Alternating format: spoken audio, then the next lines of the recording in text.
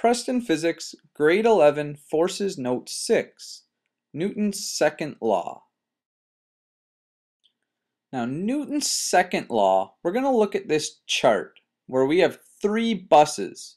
Now, we're going to compare the acceleration in all three of these buses with respect to force and mass. So first, let's say that we have a regular bus with regular capacity. So we have F for force, M for mass, and A for acceleration. It's going to accelerate at some rate. Now let's say we still have that regular bus, but we double the capacity.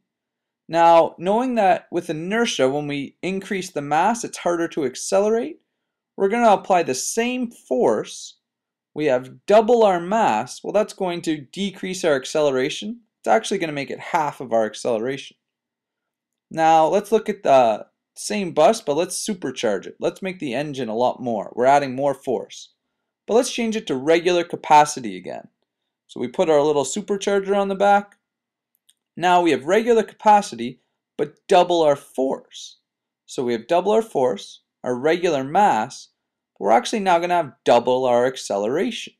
So looking at this little kind of experiment that we've put together here, we can conclude that F, M, and A are all connected.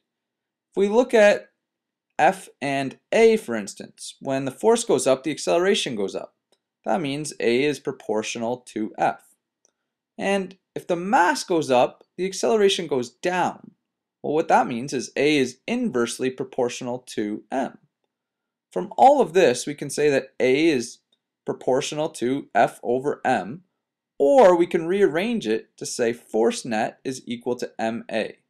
This is probably the most powerful formula that you're going to use in physics in high school. So you're going to need to get used to using it and seeing it in different ways. In words, we can say an object will accelerate proportionally to the net force that's being applied to it, but inversely proportionally to its mass. Let's look at that equation, what it means, and a simple example on how to use it. So we have force net equals mass times acceleration, where force is in newtons, our mass is in kilograms, and our acceleration is in meters per second squared. Remember we talked about before that a newton is actually equal to a kilogram meter per second squared, so this kind of makes sense.